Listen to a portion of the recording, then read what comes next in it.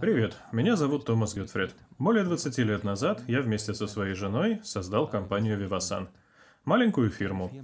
Мы начали производить продукцию в Швейцарии, мы стали выстраивать каналы сбыта, и в течение всех этих 20 лет наша фирма постоянно развивалась.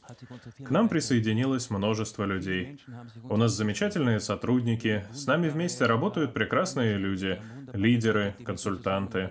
Все это сформировалось за последние 20 с лишним лет. Таким образом, от идеи разрабатывать продукцию в Швейцарии, создавать сбытовые организации, мы пришли к компании, которая известна сегодня многим. Наша система работы – прямые продажи. Это означает, что мы работаем с людьми, с нашими клиентами напрямую. Такая система имеет как преимущества, так и недостатки. Но это видео я решил снять по одной очень простой причине. Дело в том, что у многих людей неверное представление о том, что такое прямые продажи.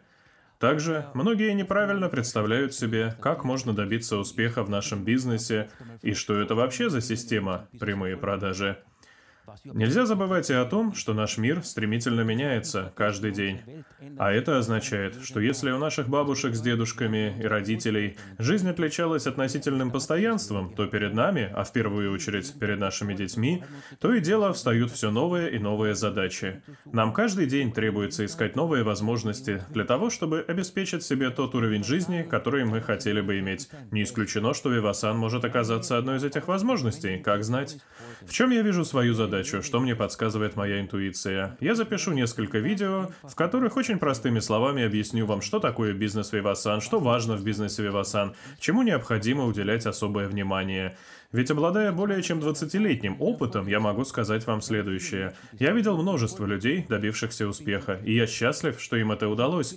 Но я также видел много и тех, кто потерпел неудачу. Именно этим, тем опытом, который я накопил, который накопили другие люди, я хотел бы поделиться с вами в этих видео. Я хочу показать вам, что в нашем бизнесе важно и без чего он просто невозможен. При помощи этих видео я хотел бы познакомить вас с тем миром, который большинство людей поначалу не понимают, и поэтому приходят к ложным выводам. Итак, давайте начнем с самого начала. Начнем с того, что является отправной точкой, основой системы прямых продаж. Для новичков, то есть для тех, кто сегодня впервые имеет дело с прямыми продажами, это отличное вступление, поскольку оно позволит вам сразу понять, по душе мне эта сфера или же это не для меня. Почему вообще существует система прямых продаж? Смотрите, если кто-то хочет продавать какие-либо товары на рынке, то для этого есть ровно две возможности. Первая – пойти классическим путем, а вторая – это система прямых продаж. Для начала важно просто понять разницу между ними. Оба пути хороши, они не конкурируют друг с другом, и каждый из них работает. Вы сами поймете, что для вас лучше. Посмотрите на классический путь. Сначала нужно вложить деньги в производство. Это логично, нужно ведь производить продукцию, ее нужно разрабатывать. Затем нужны компании, занимающиеся импортом и экспортом. Нужны сбытовые компании на местах. И, конечно же, необходимы магазины или торговые фирмы-партнеры, которые выложат эту продукцию на свои полки, а с полок она попадет клиентам. И, как вы видите на простой схеме, приведенной на этом слайде, на каждом этапе добавляются определенные проценты. Ведь каждый должен получать какое-то вознаграждение за свой труд, и каждый должен получать некоторую прибыль. А помимо всей этой системы, всей этой цепочки, вам нужна реклама. Без рекламы вообще ничего не получится. Ведь если человек не знает продукт, то он его не купит. Это всем понятно. Такова классическая система. Она работает, к ней вопросов никаких нет. Система прямых продаж выглядит несколько иначе. Вам также нужно вкладывать деньги в производство. Без этого, разумеется, не обойтись. Вам необходимо инвестировать и в разработку продукции. Вам нужно вложить деньги и в компанию импортера, и в создание сбытовой компании. Инвестировать вам тоже придется. Но во-первых, вы видите на этом слайде, что промежуточных этапов здесь меньше. А это означает возможность предлагать на рынке высококачественную продукцию по разумной цене. Второе отличие Сбытовая компания — это наши клиенты, наши консультанты и наши лидеры. Это означает, что мы консультируем клиентов, мы обучаем консультантов, мы обучаем лидеров, мы помогаем лидерам развиваться. Разумеется, в это нужно вкладывать деньги, нужно над этим трудиться, прилагать усилия, но это наша реклама. И эта реклама очень эффективна, поскольку люди рассказывают друг другу о продукции, об опыте ее использования. Они обмениваются друг с другом этой информацией. Это действенная реклама, к тому же она значительно дешевле, чем в классической системе сбыта. И может быть, некоторые уже думают, так, это могло бы быть мне интересно, поскольку в системе Vivasan можно стать независимым предпринимателем, можно в качестве предпринимателя выстроить свою собственную сбытовую структуру. Обо всем этом я буду вам рассказывать, шаг за шагом. Вам нужно лишь устроиться поудобнее, послушать и постараться составить себе общее представление о том, что я вам буду рассказывать и объяснять. Если вы хотите начать работать в прямых продажах, то первый вопрос возникнет такой. А что такое вообще эти прямые продажи? Что такое MLM? Вы спросите себя, а для меня ли это занятие вообще? О чем говорит опыт других людей в этой сфере деятельности? Для вас это занятие или нет, я не знаю. Первое, что вам нужно сделать, откройте свой интернет-браузер, Яндекс или Google, как вы хотите, и наберите в строке поиска MLM или прямые продажи. Вы найдете как позитивные, так и негативные оценки. Вы увидите рассказы как о хорошем, так и о плохом опыте. Это совершенно нормально для этого бизнеса, равно как и для любого другого бизнеса. Существуют определенные причины, по которым люди добиваются успеха, равно как и причины, по которым люди терпят неудачу. И многие из тех, кто терпит неудачу, не добиваются успеха, успеха в этом бизнесе приписывают вину внешним факторам, то есть самой системе. Они не ищут вину в самих себе. Это первая проблема. Но об этом мы еще поговорим подробно, и я расскажу вам многое из своего практического опыта. Итак, если вы говорите себе, окей, мне, наверное, стоит попробовать себя в прямых продажах, я хочу этим заняться или, по крайней мере, собрать об этом побольше информации, тогда первый вопрос. Сколько можно на этих прямых продажах заработать? Для ответа на этот вопрос, разумеется, существует план маркетинга Vivasan. Это основа нашего бизнеса. За все, что вы делаете в компании Vivasan, вы получаете некоторое вознаграждение. Есть цели в отношении оборота, есть другие цели, и за достижение этих целей вы получаете вознаграждение. Это план маркетинга Vivasan. Это то, на основе чего все строят свой бизнес. Сам план маркетинга Vivasan вы можете скачать с нашего сайта, это сделать очень просто, и ознакомиться с ним. Там вы увидите и цели, и соответствующее вознаграждение. Но я хотел бы объяснить вам его несколько иначе. Дело в том, что в плане маркетинга Vivasan, конечно, сказано, сколько вы получите, если выполните те или иные задачи. Но для того, чтобы достичь этих целей, для того, чтобы с этим справиться, вам нужно знать, что делать и какой внутренний психологический настрой вам требуется. Вы должны знать, что нужно делать, какие действия предпринимать и какими навыками обладать. И поэтому вначале мне хотелось бы рассказать о возможностях получения доходов компании Vivasan несколько иначе, на основе вот этой пирамиды доходов, которую вы сейчас видите. Смотрите, каждый, кто начинает вести бизнес Vivasan, оказывается на ступени хобби. Он регистрируется в компании Vivasan. Будем надеяться, что у него хороший спонсор, который знакомит его с бизнесом, показывает ему первые продукты, рассказывает, как организована работа в компании, то есть учит его тому, как сделать первые шаги в нашем бизнесе. Это должен делать спонсор. Плохие спонсоры – это всегда проблема. Таких много, я знаю, но я покажу вам множество возможностей и на тот случай, если у вас нет хорошего спонсора или вообще нет спонсора, которые позволят вам, несмотря на это, достичь успеха. Ступень хобби – это всегда довольно интересная стадия. Люди думают, что начать это очень просто. Начинать нужно. То есть, если я хочу выстроить бизнес, если я хочу построить бытовую организацию, то мне нужно начинать. Это первая отправная точка. Некоторые мечтают дойти до вершины, но при этом никогда даже не начинают. В этом заключается проблема на ступени хобби. Начать означает, что необходимо собрать информацию, что в фирму нужно инвестировать. У нас в компании Vivasan требуется совсем немного – купить 5 продуктов. Это вся ваша инвестиция. Ведь литература доступна в интернете, в нашем интернет-магазине, на нашем бизнес-сайте, и она бесплатна. Или это видео, которое вы сейчас смотрите. Его вы получаете тоже бесплатно. Единственное, на что вы тратите деньги, это 5 продуктов. Это большое начальное капиталовложение? Нет.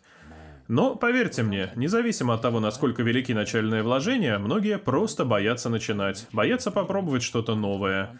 При этом не важно, сколько они вложили, инвестировали 100 тысяч франков или купили 5 продуктов. Многие люди боятся начинать. Если вам удалось попасть на ступень хобби, если вы чему-то немного научились и прикладываете небольшие усилия, то вы можете рассчитывать примерно на 900 франков в год. Конечно, это не огромные деньги, совсем не золотые горы. Есть люди, которые хотят достичь несколько большего, хотят повысить свой профессионализм. Это так называемые любители. Это следующая ступень пирамиды доходов. Кто такой любитель? Человек на уровне хобби не знает, есть ли у него сильные и слабые стороны. Он просто действует. Как-нибудь что-нибудь да получится.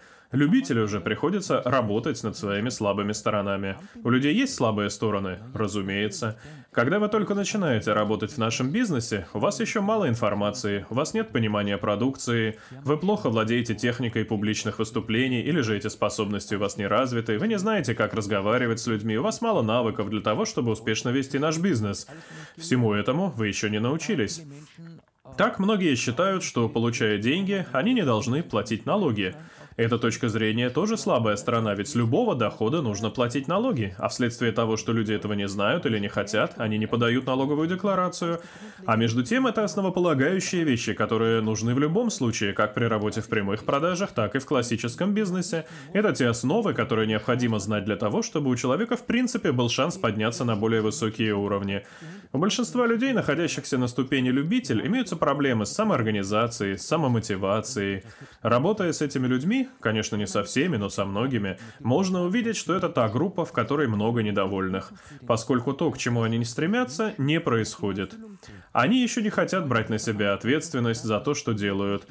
Они этому еще не научились, тому, что должны соблюдать обязательства, помогать другим людям, быть пунктуальными, хорошо одетыми, что они в бизнесе. Этого многие из тех, кто вышел на ступень любитель, еще не осознали. Это и есть те слабые стороны, о которых я говорю. Каждый проходит через этот статус любителя. Одни проходят его быстрее, другим требуется на это больше времени, но пройти через этот статус любителя нужно. Поднявшись на эту ступень и пользуясь поддержкой своего спонсора или лидера, который вам помогает, вы выходите примерно на 3000 франков в год. Это тоже не золотые горы. Следующая ступень — это профи. На этом уровне человек уже кое-что умеет, он в бизнесе. Он уже поработал над своими слабыми сторонами, уже знает, что такое социальные сети, у него уже есть в них свои небольшие профили. Он знает, что такое Viva что такое бизнес-интернет-магазин Vivasan, он знает многое. Знает, что важно строить бизнес-группы, уже во многом разбирается. Он работает день и ночь, он общается со своими клиентами, консультирует их. Он постоянно стремится находить новых клиентов, новых партнеров по бизнесу, регистрировать людей, приводить их в свою структуру. У него налажена профессиональная система обучения, у него есть система обратной связи, и этот человек уже кое-чего достиг и благодаря этому может зарабатывать больше денег. Чтобы вам было понятнее, я хотел бы повторить. На ступени хобби человек еще не знает, хочет ли он этим заниматься. Он просто начинает и что-то делает. На уровне любитель человек должен работать над своими слабыми сторонами. А профи должен работать над своими сильными сторонами, чтобы они развивались, чтобы эти его сильные стороны позволили ему построить работающую систему. Однако есть и пределы роста. На ступени хобби предел роста я не начинаю. Предел роста на ступени любитель я уже все знаю. Это весьма типично для уровня любитель, когда люди немного поучились, достигли первых небольших успехов, и вот они уже все знают. Они перестают воспринимать рекомендации и ничего больше слышать не желают. Человек на уровне профи все это уже прошел. Он развил свои сильные стороны, но и у него тоже есть предел роста, когда он считает, что большего достичь невозможно. Большего достичь можно всегда, и это ступень эксперт. Эксперт, опять же, должен мыслить несколько иначе. У эксперта есть сильные стороны, которые он продолжает развивать. И эти сильные стороны он должен делегировать, это очень важно. Что это означает? Эксперт знает, зарабатывать больше денег и работать профессиональнее он сможет только в том случае, если будет регистрировать в своей структуре много профи и любителей. Не забывайте о том, что раньше все они были на уровне хобби. То есть, чем больше людей я буду регистрировать в своей структуре, и чем большему количеству людей из своей структуры я буду помогать расти и развиваться, тем больше я стану зарабатывать и выйду на уровень эксперт. В то время как предприниматель, а это следующая ступень, сталкивается с другой проблемой. Предприниматель задает себе следующий вопрос. Всегда ли все зависит только от меня? Могу ли я найти какой-нибудь способ, некую систему, которая снимет с меня нагрузку, чтобы не всегда все зависело только от меня? И это очень позитивный вопрос. Большинству это не удается. Почему? Потому что у них есть определенная граница своего эго. Люди, которые выходят на ступень предприниматель, уже многого достигли. Они известны на этом рынке, они авторы книг, у них популярные профили в соцсетях, этих людей знают. Когда предприниматели или эксперты приходят на семинар и выступают, люди их слушают. У них есть харизма, они уже многого добились. Соответственно, предприниматель обучил уже много экспертов в своей структуре, или, лучше сказать, помог им подняться на этот уровень, или на уровень профи. И теперь предприниматель задается вопросом, буду ли я и дальше всегда ключевым и неотъемлемым элементом своего предприятия, как мне создать масштабируемую систему, такую систему, которая зарабатывала бы деньги самостоятельно? И это очень важный вопрос. Для человека на уровне любителя это может быть не важно, но при дальнейшем развитии, если человек поднялся уже на самый верх, этот вопрос необходимо иметь в виду. Есть граница своего эго. Что это означает? Отойти в сторону и дать выйти на сцену другим. Это очень важно. Это значит, я даю другим людям выйти на сцену. Это значит, я помогаю другим людям достичь успеха, делаю их блестящими профессионалами своего дела. При этом я продолжаю заниматься и другими людьми, теми, кто еще нуждается в моей помощи. Это была, в общих чертах, структура возможного дохода в компании Vivasan. Последний уровень – это, конечно, сама фирма. Здесь вы делаете уже очень большой оборот и можете зарабатывать очень много. Это система, которую вы создали и которая зарабатывает деньги самостоятельно, без необходимости приложения каких-либо серьезных усилий с вашей стороны. Но здесь вам нужно быть осторожными, об этом я часто буду упоминать в своих видео. В нашем бизнесе встречается такое мнение. Сначала я поработаю, а потом уйду на пенсию или уеду отдыхать на какой-нибудь какой-нибудь остров, а на меня будет продолжать работать моя структура или еще кто-нибудь. Я еще не раз скажу вам о том, что так не работает ни один бизнес. И наш бизнес так тоже не работает. Однако вы сможете посвятить себя другой деятельности и не должны будете больше тратить свое время на текущие дела своего бизнеса. В большей степени вы займетесь решением стратегических задач, а не текущих. Вот что здесь имеется в виду. Как подняться с самого низа на самый верх? Есть ли рецепт? Да. Разумеется, он есть. Для этого я и снимаю эту серию видео. Такой рецепт существует. Все ли будут этому рецепту следовать? Все ли изучат ту систему, о которой я расскажу в следующих своих видео, и будут по ней работать? Этого я не знаю. Это зависит от вас, здесь вы должны принимать решения. У большинства людей, которых ознакомили с этим подходом, возникает одна и та же проблема – они говорят, ну, у меня нет такого количества знакомых. Мотивировать людей или работать с людьми – это мне не по душе. Я живу в маленьком городе, я живу в маленькой стране и много тому подобного. Дорогие зрители, я могу сказать вам следующее. Для всего существует система. Для каждой проблемы есть решение.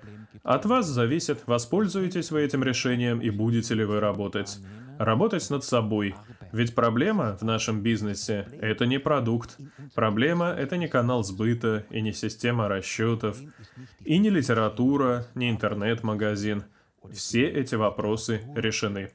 Они постоянно совершенствуются, все это уже работает. Вам не нужно создавать все это заново. Вам нужно только лишь этим пользоваться. Проблема – это ваш личный рост – ведь если вы шаг за шагом движетесь наверх, то вы должны знать, что вам необходимо расти. Вы должны менять свой подход к определенным вещам, и зачастую вам приходится решать, какие подходы менять нужно, а какие нет. Подумать, в чем мне следует изменить свой образ мыслей. Вот то, что от вас требуется, когда вы шаг за шагом движетесь к вершине. Итак, я вкратце рассказал о том, какие возможности дохода может предложить компания Vivasan. Для всех новичков, повторю еще раз, расслабьтесь. Прослушайте еще раз, постарайтесь составить собственное мнение, постарайтесь получить информацию.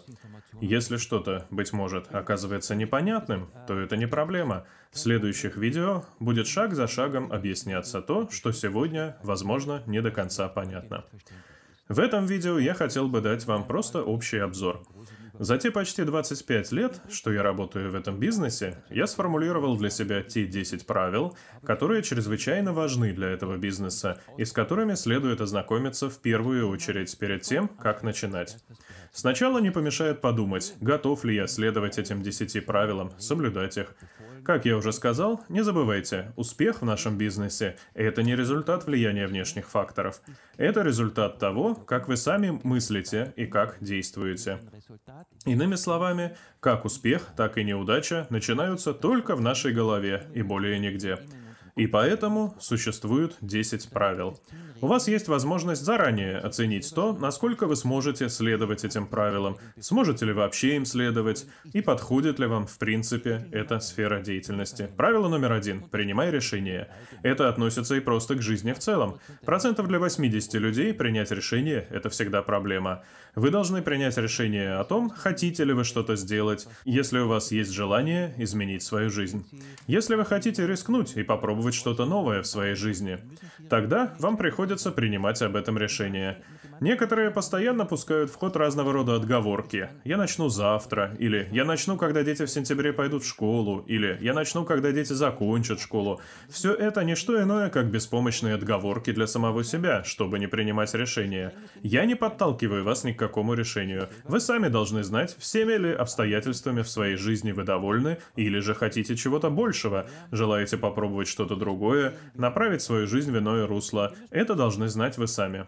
Важно, чтобы для этого вы приняли решение, чтобы у вас были силы принять это решение. А как вообще принимается решение? Это очень важный вопрос. Об этом следующее правило. Ставь цели и поставь себя в ситуацию давления извне. Вот я принял решение сделать те или иные вещи. И теперь мне нужно поставить перед собой цель. Зачастую это понимается неправильно. Люди всегда мечтают, когда говорят о целях. Я провожу семинары уже почти 25 лет, и всегда любимое упражнение участников – это постановка целей. Чего я хочу достичь в своей жизни? И вот они начинают мечтать. И в результате большинство придумывает себе какие-то цели, как правило, из области фантастики. Но сделать эту фантастику реальностью невозможно. И поэтому люди не предпринимают никаких действий. Они не вырабатывают план и не действуют. А потом, лет через 5-6, они снова приходят на мой семинар, а в их жизни, в их положении ничего не изменилось. Как нужно ставить цели? Во-первых, вы должны знать, чего вы хотите. Представьте себе такую ситуацию. Допустим, человек вот уже много лет курит по 20 сигарет в день. Но вот он почитал, послушал врачей и пришел к выводу, что если постоянно курить, то это опасно для него и для его близких. Значит, с этим пора заканчивать. Хорошо. Сегодня вот выкурю последнюю, а завтра курить уже не буду. Он поставил перед собой цель, которая с вероятностью в 90% не будет выполнена, поскольку за этой его целью ничего не стоит. Он не изучил информацию об отвыкании от курения, у него нет плана, как это сделать. Он просто заявляет, с завтрашнего дня я больше не буду курить. И поэтому многим так сложно избавиться от курения или от других привычек. Им сложно двигаться к цели, потому что наличие цели означает, что я четко знаю, чего я хочу. Знаю определенно и однозначно. Я должен составить себе представление о том, что хочу сделать.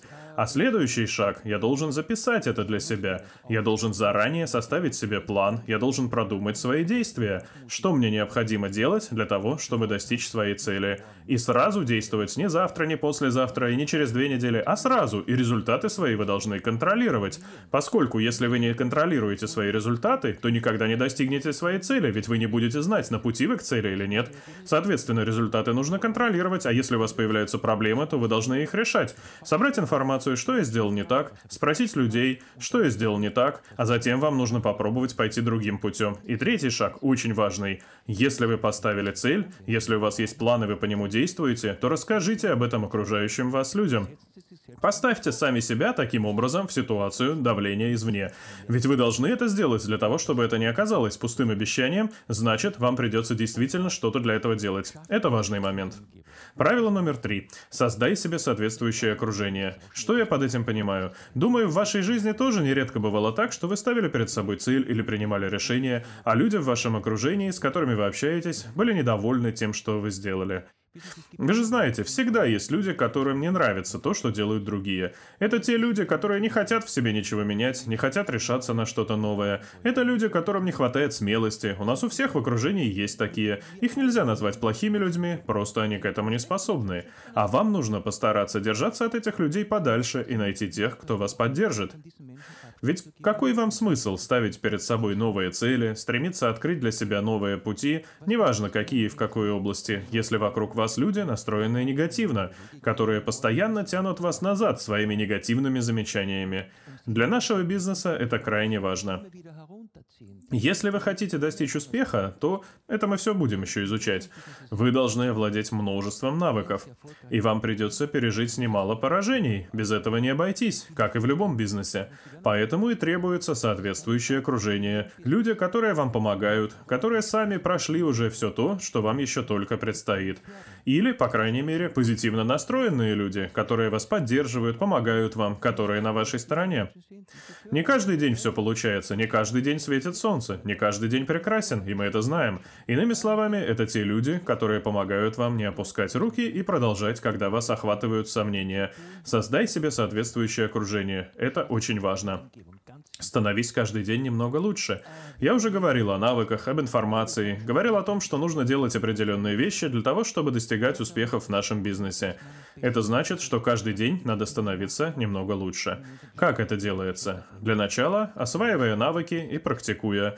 Каждый день применяя эти навыки на практике. Чему-то научиться, чтобы потом этим не пользоваться, это пустая трата времени, не делайте этого. Если вы посмотрите два или три видео и скажете это мне все понятно, и все, о чем там говорили, логично, но не будете эти знания применять, то это будет лишь напрасная трата времени. Тогда вам и видео смотреть незачем. После того, как вы чему-то научились, получили информацию, вы должны применять ее на практике. Благодаря практическому применению возникает уверенность в себе. Ведь ваш первый практический опыт, как говорить с людьми, как мотивировать людей, какие слова нужно использовать, это важно. Применять знания и навыки на практике необходимо. Чем чаще вы это делаете, тем быстрее вырабатывается интуиция и появляется уверенность в своих силах. И при следующем разговоре, на следующем семинаре, на следующей встрече работа будет выполняться на отлично. Работать станет легче, потому что вы этому научились. Итак, становись каждый день немного лучше. Развивай свое воображение. Это тоже имеет некоторое отношение к целям. Наш мозг делает то, что мы ему говорим. Что мы себе представляем? Мы представляем себе некие картины, а наш мозг старается как-то их реализовать. Это работает как с позитивными, так и с негативными представлениями. Чего наш мозг не делает, это концерт по заявкам. Заявки наши, как на концерте, он не выполняет. А это означает, что на основе всего того, что вы себе представляете, должно рождаться действие. Маленький, простой пример – если вы представляете себе, что хотели бы иметь виллу на первой линии моря, у шикарного пляжа, с роскошной обстановкой, люксовыми автомобилями и так далее, это красивая, воображаемая картинка, это мечты, они есть у многих. Один хочет зеленый автомобиль, другой красный автомобиль, спортивный или какой-нибудь еще, не столь важно. Это мечты. А мечты, как правило, остаются мечтами. Что я имею в виду под воображением? У вас завтра семинар, у вас завтра презентация, у вас завтра встреча, у вас завтра разговор с новым человеком, у вас завтра конференция по скайпу. Вы хотите построить структуру в другом городе, вы хотите построить структуру в другой стране. Все это вы должны уметь себе представить. И вы должны точно знать, что вы будете делать, что вы будете говорить, как вы будете держаться, какая у вас будет жестикуляция. Вы должны себе это представлять. Это наш бизнес. Быть представителями нашей компании, помогать людям – это наш бизнес. Поэтому вы должны представлять это себе. И что еще очень важно, у вас должна сформироваться четкая картинка того, что вы хотите сделать и как вы хотели бы это сделать. Вот что я имею в виду, когда говорю «развивайте свое воображение». Таким образом, вы неизбежно начнете совершенствоваться. Таким образом, вы неизбежно начнете предпринимать верные действия и шаги. Соответственно, работайте со своей головой, представляйте себе все то, что будете делать в нашем бизнесе. Бери на себя ответственность. Это шестое правило. Абсолютно четкое правило, крайне важное для нашего бизнеса. Но для многих именно оно нередко становится непреодолимым препятствием. Вкратце. Вы отвечаете за успехи в нашем бизнесе, и за неудачи в нашем бизнесе несете ответственность тоже вы. И больше никто. Многие говорят, ответственность несет спонсор, потому что он не дал мне информацию. Дорогие зрители, в компании Vivasan очень много информации. Есть рассылки, есть информационные материалы, есть книги, есть люди, есть семинары, есть тренинги, есть учебные занятия на складах, в филиалах, везде. У вас масса возможностей учиться и получать информацию. А теперь вы получаете еще и серию видео. Не существует отговорок, объясняющих неудачу тем, что не была получена информация. А большинство из тех, кто не берет на себя ответственность, просто еще не поняли одну вещь. Если вы считаете, что вам стоит работать в компании Vivasan, или же вы хотите строить свое будущее с компанией Vivasan, я буду очень рад, если вы так думаете. Тогда вы должны понимать, что работаете в окружении предпринимателей. А предприниматель никогда не будет слагать с себя ответственность. Никогда. Предприниматель знает, я сам отвечаю как за свой успех, так и за свою неудачу. Правило номер семь. Знай свое почему. Это очень важный момент. Почему вам нужно делать презентации? Почему вам нужно проводить обучение? Почему вам нужно разговаривать с людьми? Почему вам стоит начать лучше разбираться в продукции? Почему вам стоит научиться понимать принципы ведения бизнеса Vivasan и рассказывать о них на презентациях? Почему, почему, почему? В нашей системе, об этом вы еще услышите, есть различные этапы, через которые вам нужно пройти для того, чтобы подняться на самый верх. А это требует времени. Вы не можете сделать это за один день. Этот путь занимает достаточно длительное время. И все эти этапы согласованы между собой. Именно поэтому они и представляют собой систему. Всем этим мы еще будем заниматься. Поняв эту систему, вы получите ответы на все те «почему», которые я вам сейчас перечислил. Большинство людей испытывает огромные трудности, если они не понимают, почему должны сделать определенные вещи. А понимания у них нет потому, что они не знают, что за этими вещами стоит. Но если вы знаете почему, почему вы что-то делаете и к какому результату это приведет, то у вас неизбежно сформируется совершенно иной подход к нашему бизнесу. Для всех новичков не беспокойтесь, обо всех почему вы еще узнаете. Концентрируйтесь на тех действиях, которые приносят вам результат. Давайте проведем небольшой эксперимент. Я задам вам вопрос. Сколько часов в неделю вы были бы готовы тратить на бизнес Vivasan, если хотите зарабатывать, например, 100 тысяч франков в год?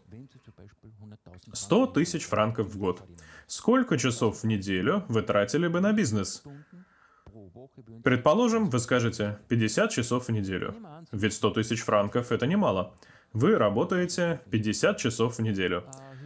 Допустим, 4 недели вы проводите в отпуске, значит остается около 2400 часов. Если вы разделите 100 тысяч франков на 2400, то получится примерно 42 франка. Соответственно, возникает следующий вопрос. Приносит ли мне все то, что я делаю в бизнесе Vivasan, доход в размере 42 франка в час? Понимаете подход?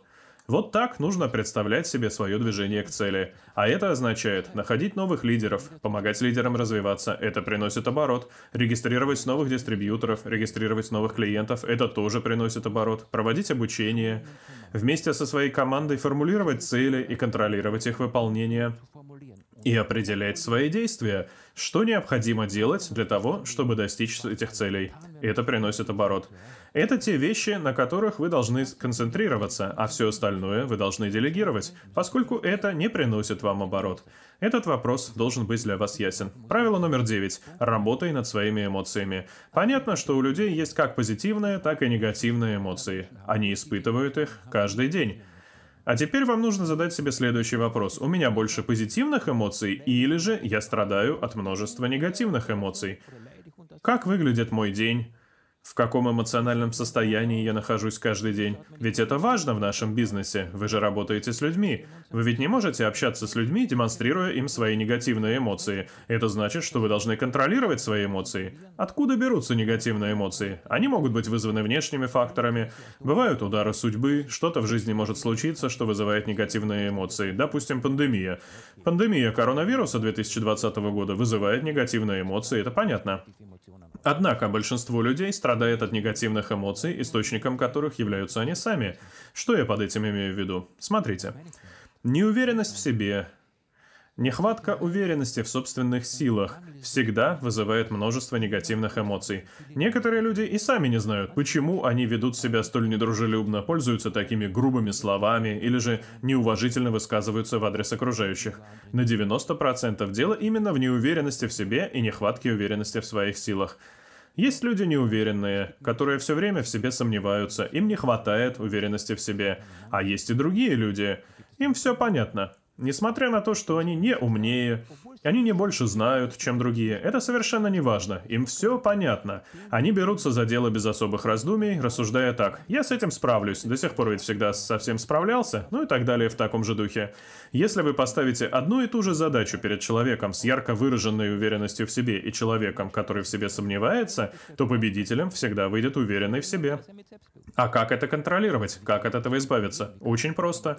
Есть три вопроса, на которые вам нужно ответить. Первый вопрос. Если вы где-то не уверены в себе, или вам этой уверенности не хватает, то нужно задать следующий вопрос. Откуда во мне берется эта неуверенность? Обычно все дело в том, что я хочу чего-то, желаю чего-то достигнуть, что-то сделать, я хочу выполнить какое-либо действие, которое принесет мне результаты, но у меня не хватает навыков, и я слишком мало верю в себя. Соответственно, вы себя на эту неуверенность и на сомнение в себе заранее уже запрограммировали, и поэтому результат тоже заранее запрограммирован. Нет навыков, нет знаний, мало информации, и действие всегда ведет к катастрофе. Второй вопрос. Если я понял, чего я не умею, или, лучше сказать, еще не умею, чего я не знаю, то какая еще информация мне нужна? Вопрос такой, а где мне все это взять? Откуда мне это взять? Так составьте себе список, откуда взять информацию и как овладеть этими навыками. Что для этого нужно делать? И третий важный вопрос – кто мне в этом поможет? Именно в нашем бизнесе не бывает так, что новый представитель Vivasan приходит в компанию по приглашению своего спонсора, а потом сидит в одиночестве где-то посреди пустыни и не знает, кто ему поможет. Такое бывает редко. Конечно, не каждый спонсор идеален, это мы все знаем. И не каждый лидер идеален. Но над вами есть структура, от членов которой вы наверняка получите помощь. И десятое правило – всегда находи причину продолжать. Есть много причин для того, чтобы прекратить, но есть и ничуть не меньше причин продолжать. Здесь я хотел бы завершить эту тему фразой моего отца. Не обращая внимания на то, хотел я это слышать или нет, он говорил мне так. Важно на один раз больше подняться, чем упасть. И это очень важно, дамы и господа. Не останавливайтесь. Если вы решились, то продолжайте обязательно. У вас вновь и вновь будут появляться новые шансы, и если сегодня у вас есть проблема, то завтра вы эту проблему решите, и перед вами откроется новая дверь. У вас всегда есть шанс продолжать и действовать дальше. На этом я хотел бы завершить это видео. Оставайтесь здоровы, буду рад, если вы посмотрите и следующее видео о том, как строить структуру сбыта. Спасибо.